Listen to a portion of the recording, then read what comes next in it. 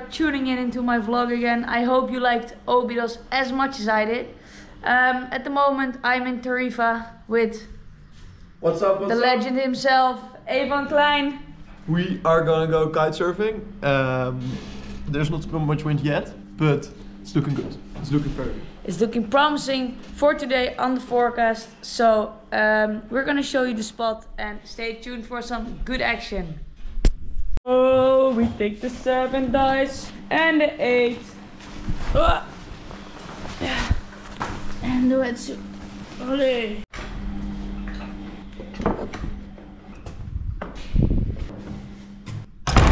Oh yeah. I'm excited for this one.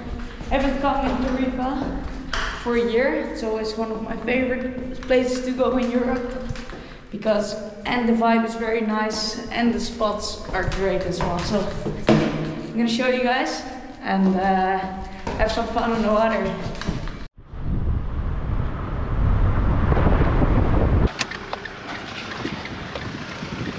So the good thing is that it is super sunny, but there's happening? not any wind. No!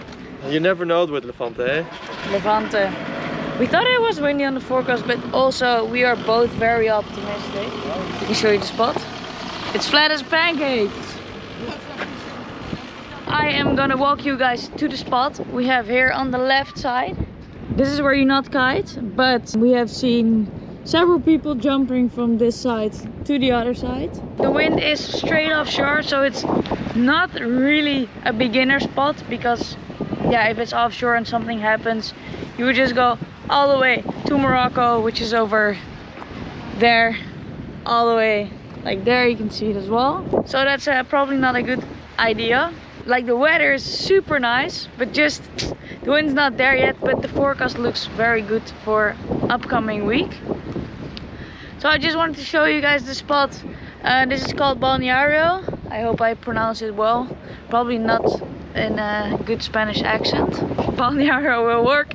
I'm gonna walk back now, but in the next vlog we're gonna kite here because it's still Levante next week and I'm gonna show you some proper action.